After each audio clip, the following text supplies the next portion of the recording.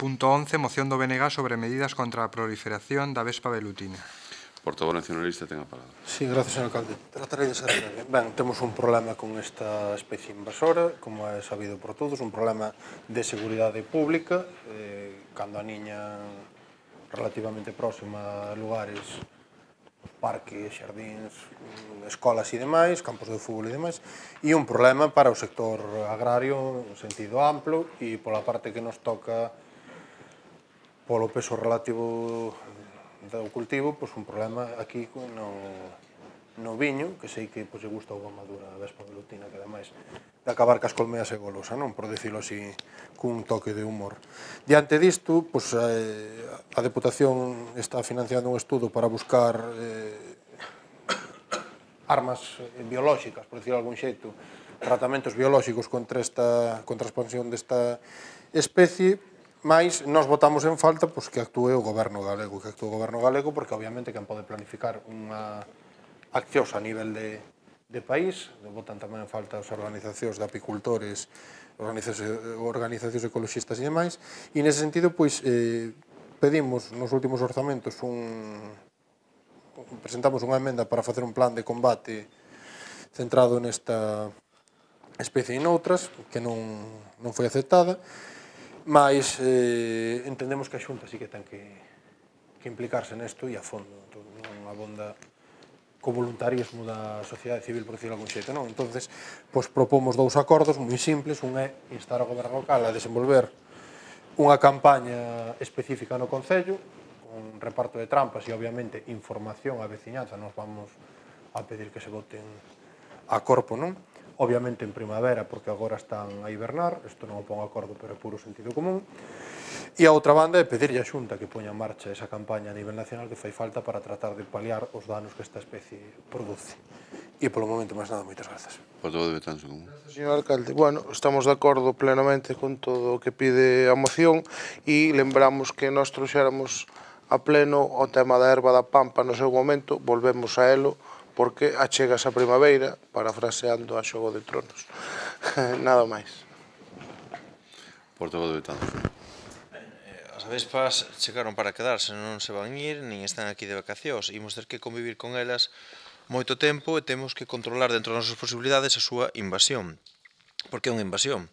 A todo agora, os expertos e as asociacións de apicultores e, e bueno, e demais e, o teñen claro, hai que actuar ao comezo da primavera para que sexa máis selectiva así a súa captura das raíñas que salen da, da invernación, non? Si se deixa para máis adiante, pois xa non é tan selectiva a súa captura porque hai outros insectos que teñen a súa invernación máis tardía e que tamén serían capturados.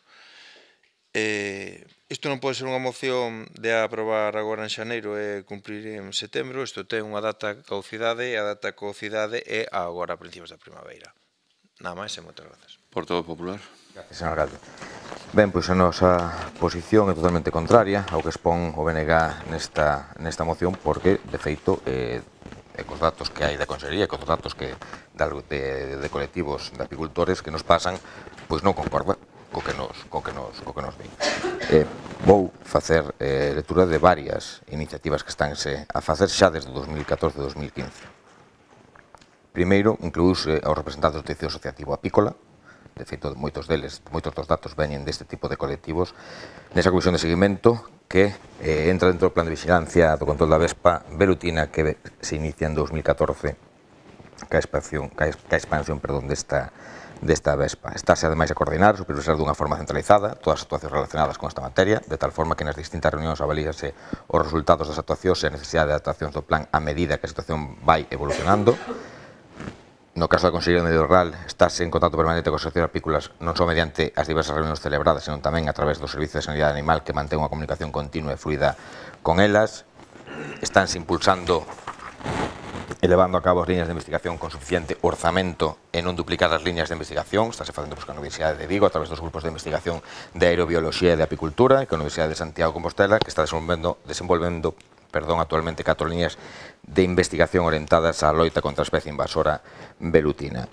Están levando líneas de investigación desde a Universidade de Vigo e Santiago de Compostela que confluen aspectos comuns, como o estudo de atraentes que permiten o desenvolvemento de métodos, e despois están, estánse levando a cabo perdón, unha serie de iniciativas xa máis concretas. Potenciase O esforzo da ilota preventiva na primavera para a máxima captura de raíñas, baseados fundamentalmente no ciclo anual habitual da Avespa, concretamente o plan de control fundamentas en dous puntos principais, a captura de raíñas e a atención e eliminación precoz dos niños. Unha captura de raíñas con colocación de trampas no entorno de colmeares que, como dicía ahora o portavoz precisamente de Tanzos Novo, eh, son accións que hai que tomar, sobre todo ahora en primavera, que o momento na que raíñas fundadoras saen da hibernación para iniciar o seu ciclo anual. Cabe destacar, ademais, que actualmente a captura céntrase no período de primavera, cando as novas reiñas nadan no outono anterior emerxen do período de hibernación a finais de febreiro e inicio de marzo e comenzan a construir o niño do novo ciclo anual, como decía con anterioridade.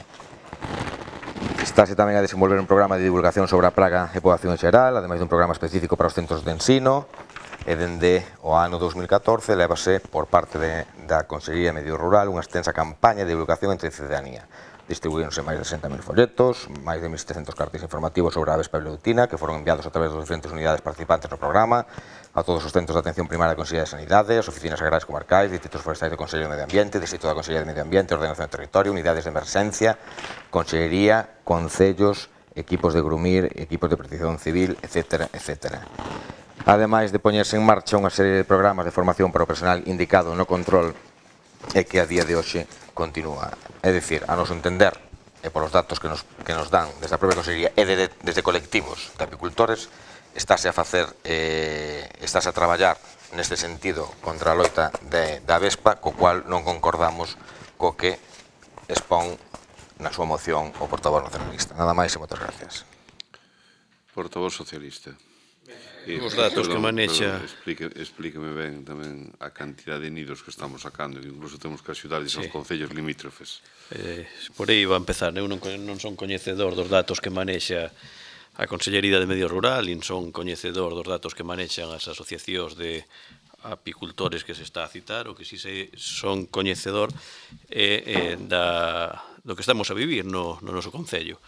Eh, e grazas ao voluntarismo e, e ao tempo adicado dos membros de protección civil que voluntariamente eh, están a acudir, eh, sobre todo eh, en horario nocturno, posto que é o momento de menor de actividade das, das vespas para a eliminación dos, dos niños. Fala o Bloque Nacionalista Galego dos datos que desprendía a Consellería no ano anterior, que falaba que no noso Concello había entre 26 e 100 niños, eh, no que eh, durante o ano 2017 no Concello de Betanzos máis de 150 eh, tendo en conta que a finais de ano é cando máis aparecen, eh, que é cando eh, empeza no, no outono a caída da folla das especies arbóreas cando se detectan eh, a existencia de, de niños que durante outra época non se, non se controlaron.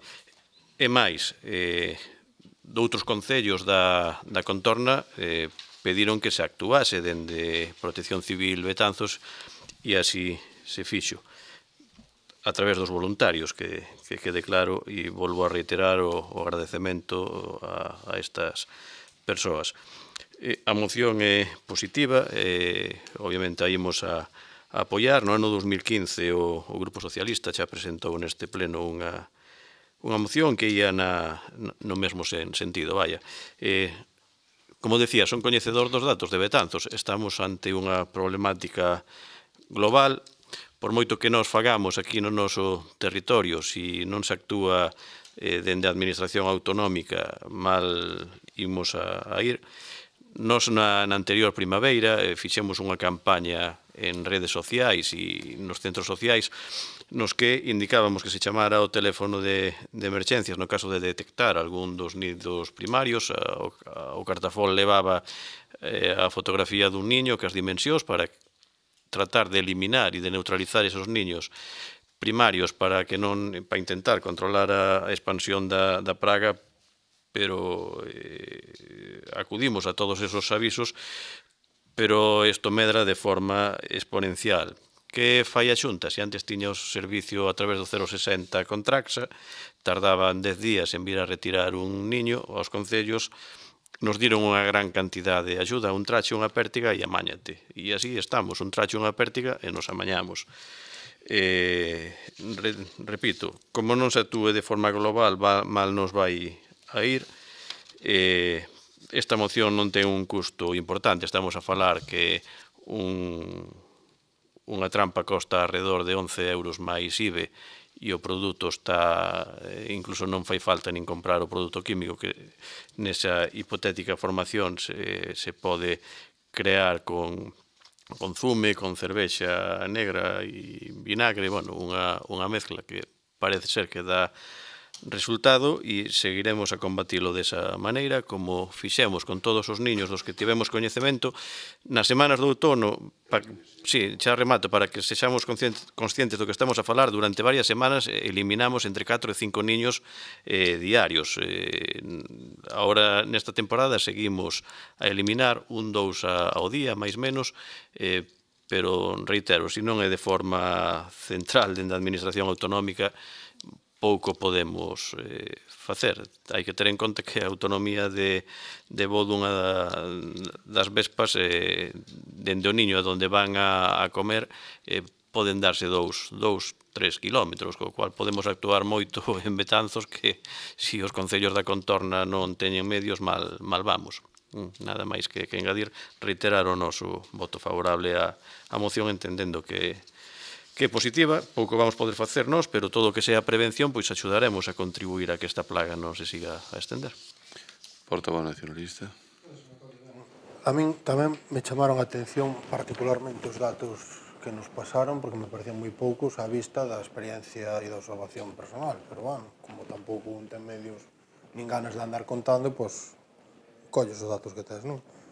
Dito isto, a moción parte da premisa de pensar globalmente, actuar localmente, e obviamente todas as rañas que podamos afogar non van a seguir expandindo, non? Vai ser unha pinga nun océano, pero nos entendíamos que debemos facer o esforzo, sobre todo cando efectivamente o que un ve día tras día que van falar coas persoas que participan nesas tarefas de retirada de dos niños, que é a solución última, non? E que pois, cando hai un risco bastante máis grave a nivel colectivo, E cando miras as noticias e ves pois, que efectivamente todos os concellos din temos que improvisar, temos que ver, salir do paso e se queixan da falta de coordinación, ves noticias de un señor en non sei onde inventa ou está probando un novo experimento para ver se dá con elas, tal, o sea, efectivamente todos os datos que se ven contra a propaganda que poida facer a Xunta semellan indicar pois, que non se está a facer o esforzo que,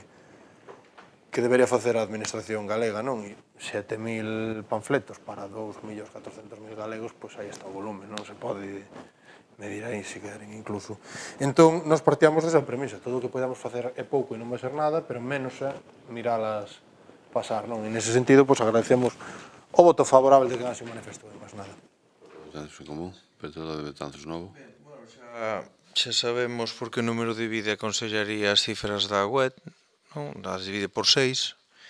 E, eh, pero bueno, con todo o que dixo o portavoz do grupo do Partido Popular, xa este ano se poden dar por por liquidadas. Nada máis e, e moitas grazas. Portavoz Popular. Eh. Portavoz Socialista. Ben, creo que hai unanimidade, me parece. No, que se someta a votación. Sométese a votación o punto 11, moción do BNG sobre medidas contra a proliferación da vespa velutina. Votos a favor? En contra? Ben, se aproba cos votos de Betanzos Novo, do Grupo Nacionalista, de Betanzos en Común, do Grupo Socialista e voto en contra do Grupo Popular. Punto siguiente.